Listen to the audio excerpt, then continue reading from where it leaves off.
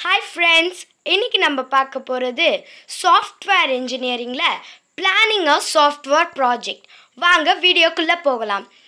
First எங்கள் வீடியோவை பார்க்குறீங்கன்னா லைக் பண்ணுங்கள் ஷேர் பண்ணுங்கள் சப்ஸ்கிரைப் பண்ணுங்கள் கூடவும் அந்த பெல் பட்டனை கிளிக் பண்ண மறந்துடாதீங்க. கமெண்ட்டும் போடுங்க. வாங்க வீடியோக்குள்ளே போக ப்ராஜெக்டை எப்படி பிளான் பண்ணுறது அப்படிங்கிறத பார்க்க போகிறோம் ஏன் சாஃப்ட்வேர் ப்ராஜெக்டை பிளான் பண்ணணும் அப்படின்னா ஒரு ப்ராஜெக்ட் நம்ம செய்ய போகிறோம் அப்படின்னா என்ன பண்ணுறோம் அதில் என்ன மாதிரியான அந்த ப்ராஜெக்ட் பண்ணால் மார்க்கெட்டில் ரீச் ஆகுமா மக் அந்த ப்ராஜெக்ட் கஸ்டமர் அக்செப்ட் பண்ணுவாங்களா இல்லையா அது அந்த ப்ராஜெக்ட் நம்ம சேல்ஸ் பண்ணோம்னா மார்க்கெட்டில் நமக்கு அதிக அளவுக்கு அமௌண்ட் வருமா அப்படிங்கிறத பார்த்து தான் ஒரு ப்ராஜெக்டை நம்ம செலக்ட் பண்ணணும். நம்ம செலக்ட் பண்ணுற ப்ராஜெக்ட் வந்து கஸ்டமருக்கு சப்போர்ட் பண்ணக்கூடிய ப்ராஜெக்டாக இருக்கணும். ஓகேங்களா? ஸோ அதனால தான் இந்த பிளானிங்கில் ரொம்ப இம்பார்ட்டண்ட்டு என்ன அப்படின்னு பார்த்தீங்கன்னா பிளானிங் பண்ணும்போது கேர்ஃபுல்லாக பிளான் பண்ணணும். நமக்கு சொல்லுவாங்களே பிளான் பண்ணாமல் எந்த ஒரு ஒர்க்கும் செய்யக்கூடாதுங்கிறது. அதே மாதிரி தான் ஸோ பிளானிங் எங்கே ஆரம்பிக்குது? எங்கேருந்து நம்ம பிளான் பண்ணணும்? அப்படிங்கிறத பற்றி தான் பார்க்க போகிறோம் source of software product. Ideas include. Externally generated customer requirements. Internal organisational requirements. Marketing plans and organisational mission so எங்கேருந்து இந்த கஸ்டமர் ரெக்யர்மெண்ட்ஸ் ஆரம்பிக்குது அப்படின்னு பார்த்தீங்கன்னா கஸ்டமர் ரெக்யர்மெண்ட்ஸ் இருந்து தான் நமக்கு ஸ்டார்ட் பண்ணுது. ஸோ இந்த கஸ்டமர் ரெக்யர்மெண்ட்ஸ் எப்படி இங்கேருந்து நம்ம போகிறோம் நம்ம போயிட்டு கஸ்டமர்கிட்ட போயிட்டு கேட்குறோம். உங்களுக்கு என்ன மாதிரியான குறைகள் இருக்குது என்ன மாதிரி சாஃப்ட்வேர் இருந்தால் நமக்கு பெட்டராக இருக்கும்? அவை அது உதாரணத்துக்கு என்ன அப்படின்னா இப்போ ஒரு சூப்பர் மார்க்கெட்டில் இருக்கும். ஒரு சூப்பர் மார்க்கெட்டில் ஒரு பில்லிங் சிஸ்டம் இருக்குது அந்த பில்லிங் சிஸ்டத்தில் பார்த்தீங்க அப்படின்னா ரெண்டு மூணு ஃபீச்சர்ஸ் ஆட் பண்ணியிருந்தால் நல்லாயிருக்கும். கஸ்டமரோட நேம் வேணும் கஸ்டமரோட ஃபோன் நம்பர் ஆட் பண்ணணும் அவங்களோட மெயில் ஐடி ஆட் பண்ணால் நல்லாயிருக்கும். இந்த மாதிரி ஒரு பில்லிங் சிஸ்டம் இருந்தால் நல்லாயிருக்கும். நம்ம நினைக்கிறோம் ஆனால் நம்மக்கிட்ட அது இல்லை. அப்போ அதை செஞ்சு தரணும் அப்படிங்கிறதுக்காக சாஃப்ட்வேர் இன்ஜினியர்கிட்ட கஸ்டமர் வராங்க. அவங்களோட ரெக்யூர்மெண்ட் என்ன அப்படிங்கிறத கேட்டு அவங்களோட ரெக்யூர்மெண்ட்டை ஃபுல்ஃபில்மெண்ட் பண்ணுறது தான் சாஃப்ட்வேர் இன்ஜினோட மெயின் டார்கெட் ஸோ அப்போ நம்மளோட ரெக்யூர்மெண்ட் கஸ்டமர்கிட்ட இருந்து தான் ஆரம்பிக்குது. ரெண்டாவது இன்டர்னல் ஆர்கனைசேஷன் ரெக்யூர்மெண்ட்ஸ் இன்டர்னல் ஆர்கனைசேஷன்னா நம்ம அவங்க கேட்கக்கூடிய கொரிஸை நம்மளால் செய்ய முடியுமா? என்ன செய்ய முடியும்னா ஃபார் உதாரணத்துக்கு அவங்க ஆண்ட்ராய்டில் ஒரு ஆப் டெவலப்மெண்ட் பண்ணி கேட்குறாங்க நம்மளால் ஆண்ட்ராய்டு சாஃப்ட்வேர் இருக்கா? நம்மள்ட்ட அதுக்கான ஹார்ட்வேர் சப்போர்ட் பண்ணுமா? அப்படிங்கிறத பார்க்கணும். ஸோ நம்ம கம்பெனியில் அந்த மாதிரியான ஹார்ட்வேர் ஃபெசிலிட்டி சாஃப்ட்வேர் ஃபெசிலிட்டி இருந்தால் மட்டும்தான் கஸ்டமர்கிட்ட அவங்க கேட்கக்கூடிய என்ன ப்ராஜெக்ட் கேட்குறாங்களோ அந்த ப்ராஜெக்டை அக்செப்ட் பண்ணணும். So that is internal organisational requirement நம்ம கிட்ட அதுக்கான ரெக்யூர்மெண்ட்டு இருக்கா இல்லையா அப்படின்னு தெளிவாக இருந்தால் மட்டும்தான் கஸ்டமர்கிட்ட வாங்கணும். நம்மக்கிட்ட அது ப பண்ணக்கூடிய சாஃப்ட்வேரும் கிடையாது ஹார்ட்வேரும் கிடையாதுன்னா கஸ்டமர்கிட்ட இருந்து அந்த மாதிரி அவங்க சொ அந்த மாதிரி ப்ராஜெக்டை நம்ம வாங்கக்கூடாது. சே தேர்ட் ஒன் பார்த்தீங்க அப்படின்னா marketing plans so marketing plan அப்படின்னா நம்ம செய்யக்கூடிய ப்ராஜெக்ட் மார்க்கெட்டில் ரீச் ஆகணும். நல்ல ஒரு சேல்ஸுக்கு அந்த அந்த அப்ளிகேஷனை எல்லோரும் எடுத்துக்கணும். எல்லோரும் அந்த அப்ளிகேஷனை வாங்கி பயன்படணும். அந்த மாதிரி இருக்கணும் நம்ம செய்யக்கூடிய ப்ராஜெக்ட்ஸ் அனதர் ஒன் பார்த்திங்கன்னா ஆர்கனைசேஷனல் மிஷன் பிளான்ஸ் ஸோ ஆர்கனைசேஷனில் அவங்களுக்கு ஒரு எய்ம் வச்சுருப்பாங்க. ஸோ நம்ம எல்லாம் பார்த்திங்க அப்படின்னா சிக்ஸ் மந்த் ப்ராஜெக்ட் தான் பண்ணி கொடுப்போம். ஒன் இயர் ப்ராஜெக்ட் தான் பண்ணி கொடுப்போங்கிற நமக்குன்னு ஒரு மிஷன் இருக்கும். நம்ம நம்ம வந்து பைத்தானில் தான் பண்ணுவோம். ஜாவாவில் தான் பண்ணுவோம். நமக்கு ஒரு மிஷன் வச்சுருப்போம். ஆனால் அங்கேருந்து நமக்கு ஆண்ட்ராய்டு ப்ராஜெக்ட் வருது அப்படின்னா நமக்கு தெரியாமல் அதுக்கு ப அதிலோட நாலேஜ் இல்லாமல் நம்மளை ஆண்ட்ராய்டு ப்ராஜெக்ட்டை வாங்கி தரோம். கஸ்டமர்கிட்ட செஞ்சு தரோம் அப்படின்னு சொல்லி அவங்கள்ட்ட இருந்து நம்ம ப்ராஜெக்டை வாங்கக்கூடாது. புரியுதுங்களா? ஸோ அப்போ பிளானிங் அப்படிங்கிறது எதை பேஸ் பண்ணி இருக்குது அப்படின்னு பார்த்தீங்கன்னா customer requirements internal organisational requirement marketing plan and organisational mission next one defining a problem எப்படி ஒரு ப்ராப்ளத்தை நம்ம அண்டர்ஸ்டாண்ட் பண்ணுறது அப்படிங்கிறத பற்றி பார்க்க போகிறோம் problem definition requires a through understanding of the problem domain and the problem environment so problem domain என்ன அப்படிங்கிறத நம்ம ஃபுல் கிளியராக இருக்கணும். என்ன ப்ராப்ளம் டொமைன் அப்படின்னா நம்ம என்ன லாங்குவேஜில் பண்ண போகிறோம் டொமைன்னா அதான் சொல்ல போகிறோம் ஜாவாவில் அந்த ப்ராஜெக்ட் பண்ணி கொடுக்க போகிறோமா இல்லை சியில் பண்ணி கொடுக்க போகிறோமா சி ப்ளஸ் ப்ளஸில் பண்ணி கொடுக்க போகிறோமா இல்லை பைத்தானில் பண்ண போகிறோமா இல்லை ஆர் லாங்குவேஜ் வச்சு பண்ண போகிறோமா என்ன லாங்குவேஜ் யூஸ் பண்ணி நம்ம பண்ண போகிறோம் that is a domain environment so யாருக்கு பண்ணி கொடுக்க போகிறோம் ஹாஸ்பிட்டலுக்கு பண்ணி கொடுக்க போகிறோமா பேங்கிங் செக்டர் பண்ணி கொடுக்க போகிறோமா இல்லை பெரிய பெரிய க சூப்பர் மார்க்கெட் காம்ப்ளெக்ஸ்க்கு இந்த மாதிரி பண்ண அப்ளிகேஷன் க்ரியேட் பண்ண கொடுக்க போகிறோமா அப்படிங்கிறத பார்த்து நம்ம ரொம்ப தெளிவாக இருக்கணும். So that is a problem domain and the problem environment so யாருக்காக ப்ராஜெக்ட் பண்ணுறோம் எதுக்காக ப்ராஜெக்ட் பண்ணுறோம் அப்படிங்கிறதுல கிளியராக இருக்கணும்.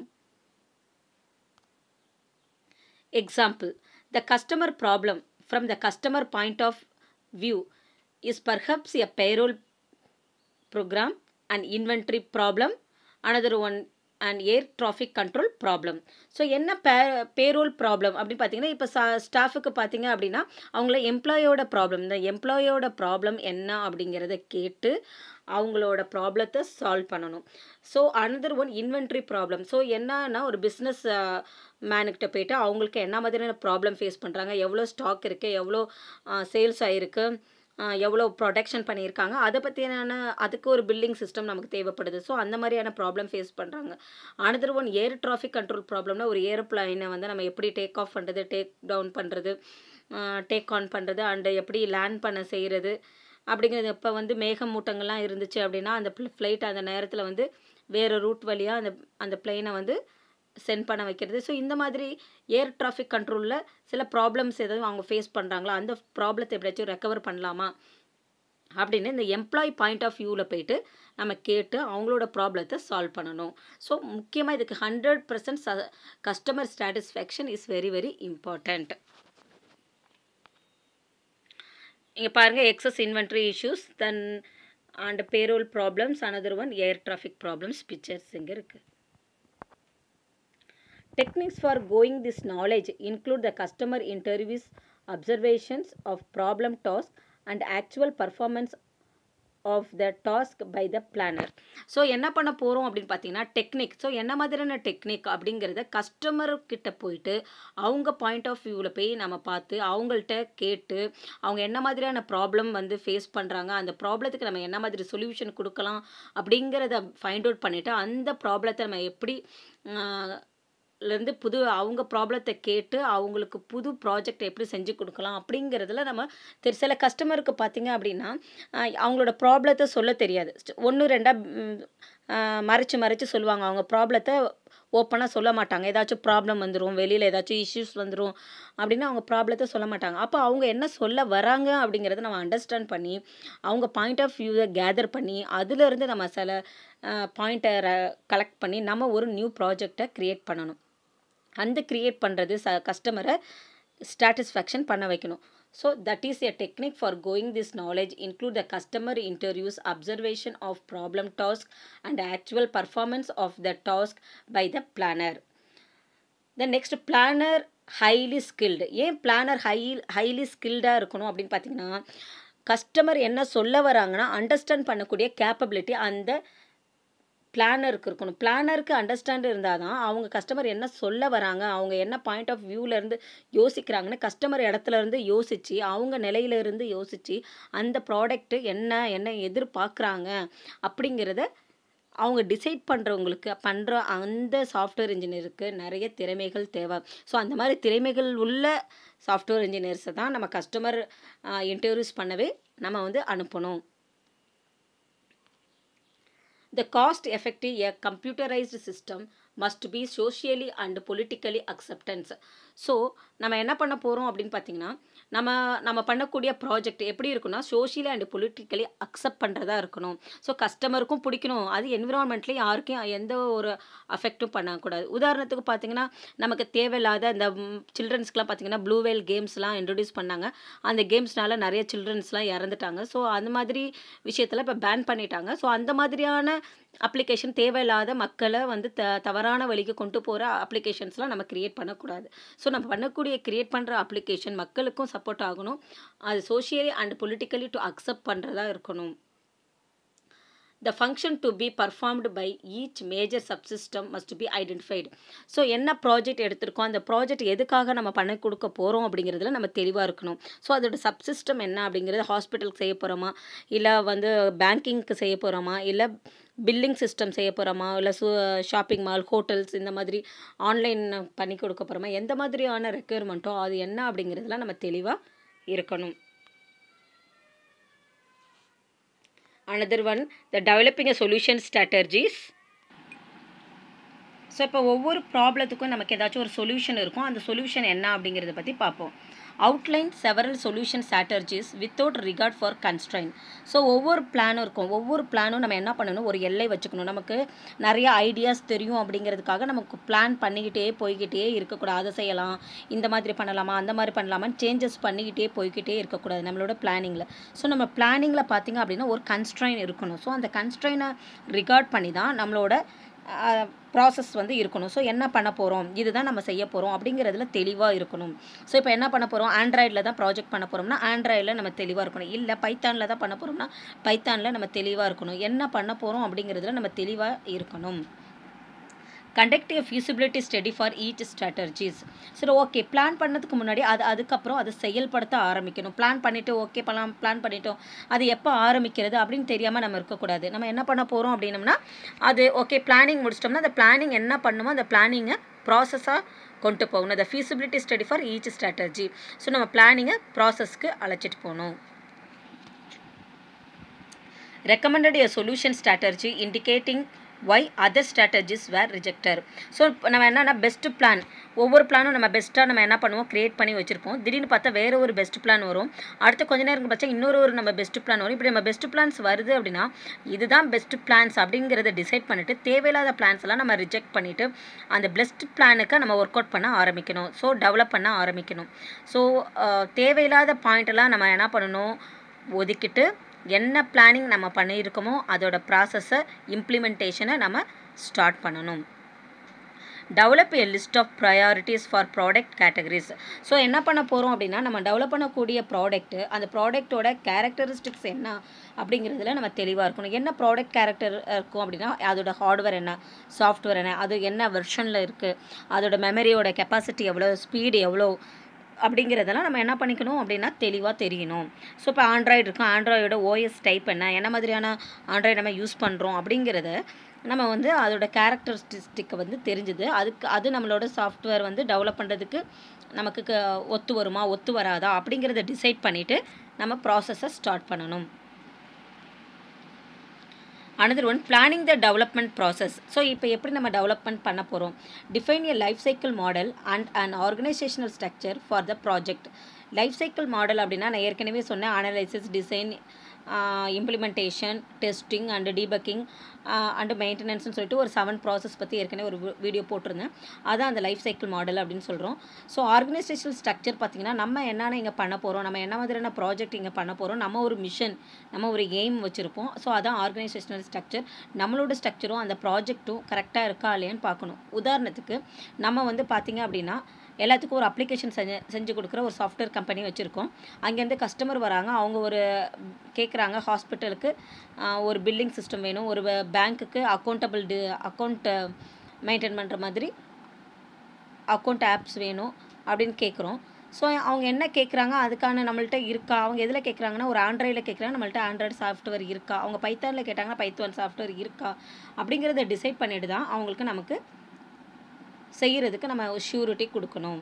இந்த பிளான் த கா configuration management quality assurance and validation activities so ஆர்கனைசேஷனோட முக்கியமான வேலை என்ன அப்படின்னா மேனேஜ்மெண்ட்டோட முக்கியமான வேலை குவாலிட்டி அஷூரன்ஸ் அவங்க குவாலிட்டியான ப்ராடக்ட்டை சென்ட் பண்ணுறதும் அது குவாலிட்டியாக இருக்கா இல்லையான்னு வேலிடேட் பண்ணிட்டு தான் அதை மார்க்கெட்டில் சென்ட் பண்ணணும். ஸோ அப்போ பண்ணுனா தான் நமக்கு சக்ஸஸான ப்ராஜெக்ட் பண்ணியிருக்கோம்னா மக்கள் அக்செப்ட் பண்ணுவாங்க. ஸோ மக்கள் அக்செப்ட் பண்ணிட்டாங்க அப்படின்னா நமக்கு அந்த ப்ராஜெக்ட் நல்லா மார்க்கெட்டில் ரீச் ஆகி நமக்கு நல்ல இன்னும் நிறைய ப்ராஜெக்டை டெவலப் பண்ணுறதுக்கு வசதியாக இருக்கும்.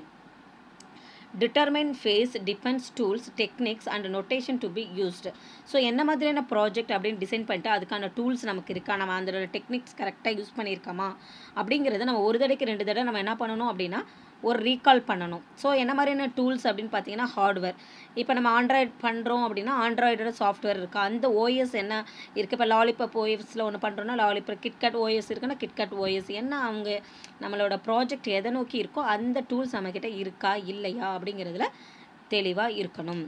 Establish the preliminary cost estimate for system development அடுத்தது என்ன பண்ணுறோம் அப்படின்னா ஒரு ப்ராஜெக்ட் செய்கிறதுக்கு முன்னாடி லிமிட்டட் அமௌண்ட் போட்டு தான் நம்ம ஒரு ப்ராஜெக்ட்டை ஆரம்பிக்கணும். ஃபார் எக்ஸாம்பிள் இப்போ நம்ம ஒரு கடை ஆரம்பிக்கிறோம் அப்படின்னா எடுத்தோன்னே ஒரு சின்னதாக தான் கடை ஆரம்பிச்சிட்டு அதுக்கப்புறம் தான் ஒரு பெரிய ஷாப்பிங் மால் ஆரம்பிப்போம்.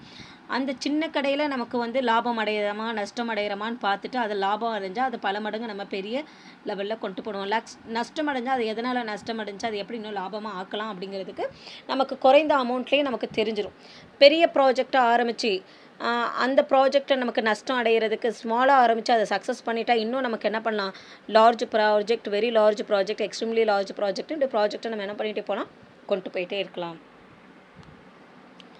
Establish preliminary staffing estimate so இனிஷியலாக நம்ம ஆரம்பிக்கும் போது இரண்டு அல்லது மூன்று எம்ப்ளாயை வச்சு தான் நம்ம ஆரம்பிக்கணும். ஏன்னா இப்போ வந்து ஃபார் எக்ஸாம்பிள் சொன்னி இப்போ சின்ன ஒரு கடை மாதிரி வச்சு அந்த கடையில் நம்ம சக்ஸஸ் ஆயிடுச்சுன்னா பெரிய ஷாப்பிங் மால் வைக்கிறோம் இப்போ சின்ன கடைக்கு பார்த்திங்கன்னா ஒரு ரெண்டு எம்ப்ளாயி இருந்தால் போதும். அந்த கடையை நம்ம ரன் பண்ணலாம். இல்லை பெரிய ஷாப்பிங் மால்னால் ஒரு ஃபிஃப்டி எம்ப்ளாயிஸ் நமக்கு தேவைப்படுதுன்னா ஃபிஃப்டி எம்ப்ளாயிஸ் ஸோ ஸ்மால் கடைக்கு ஒரு டென் எம்ப்ளாயிஸ் வச்சு அவங்களுக்கு நமக்கு சேலரி கொடுக்க முடியாமல் நமக்கு ப்ராடக்ட் வாங்க முடியாமல் நம்ம வந்து நம்மளோட ப்ராஜெக்ட் வந்து வேஸ்ட் ஆகக்கூடாது. ஸோ அந்த மாதிரி ப்ராஜெக்ட்டு வந்து டிசைட் பண்ணிவிட்டு இப்போ வந்து ஒரு ப்ராஜெக்ட் வாங்குறோன்னா அதுக்கு எவ்வளோ சாஃப்ட்வேர் ப்ரோக்ராமர் தேவைப்படுவாங்க? ஒரு ரெண்டு ப்ரோக்ராமரை வச்சு சிக்ஸ் மந்த் ப்ராஜெக்ட் பண்ணலாம். இல்லை ரெண்டு ப்ராஜெ ப்ரோக்ராமரை வச்சு ஒன் இயர் ப்ராஜெக்ட் பண்ணலாம். டென் ப்ரோக்ராமரை வச்சு சிக்ஸ் மந்த் ப்ராஜெக்ட் பண்ணுறது நமக்கு எக்ஸஸ் காஸ்ட்டு ஆகும். அப்போ டென் ப்ரோக்ராமர் வேணும்னா ஃபைவ் இயர்ஸ் டென் இயர்ஸ் ப்ராஜெக்டாக இருந்தால் டென் ப்ரோக்ராமர்ஸை வச்சு நம்ம ஒர்க் பண்ணலாம்.